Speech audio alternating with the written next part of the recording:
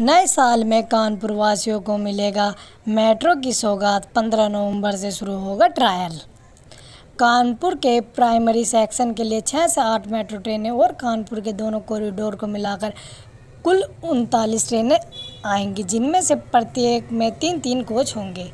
अगर दोस्तों, इससे पहले आपको पूरी जानकारी दें, आप हमारे इंस्टाग्राम के लिंक को डिस्क्रिप्शन में से फॉलो कर सकते हैं। वीडियो को लाइक करें चैनल को सब्सक्राइब करें, वीडियो को ज़्यादा से ज़्यादा शेयर करें और हमारे व्हाट्सएप के ग्रुप से जुड़ने के लिए लिंक डिस्क्रिप्शन में से क्लिक करें। अब बात करते हैं इस पर विस्तृत। उत्तर प्रदेश की योगी सरकार कानपुर की जनता को बड़ी सौगात देने की तैयारी कर रही है।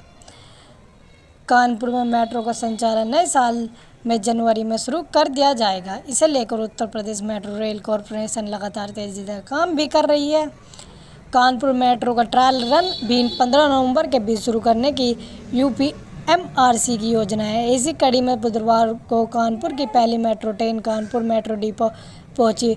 विविधता पूजन के बाद 40 टन वजनी इस अत्याधुनिक मेट्रो कोच को दो ट्रे क्रेनों की सहायता से ट्रैक पर उतारा गया। यूपीएमआरसी के प्रबंधक निदेशक कुमार केशव भी इस दौरान मौजूद रहे।